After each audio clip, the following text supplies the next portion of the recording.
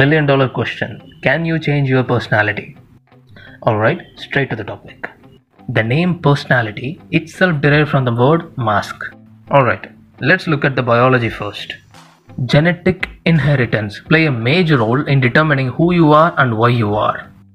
Personality traits like neuroticism, openness, conscientiousness, etc. have strong genetic influence which falls between 30 to 60%. Let me say that again 30 to 60% of your personality is determined by your genes. Now, let's look at external environment, which is your environment and situational surroundings. For example, the neighborhood you live in, the education you get, the role model, the parenting, everything. Everything that is outside. It does influence much of your personality. Alright, the last one that beats everything, which is your intention.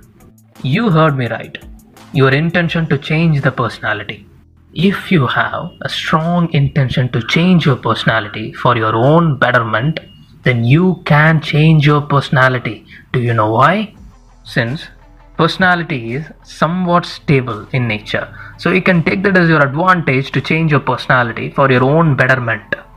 And I also said biology is not a destiny. Genes are not deterministic. So, it is possible to alter and modify our characteristics accordingly.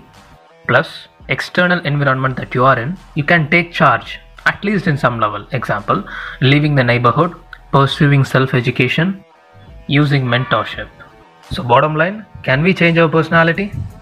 Yes, we can and do change our personality at least in our limits. If you want to know more, click the next video.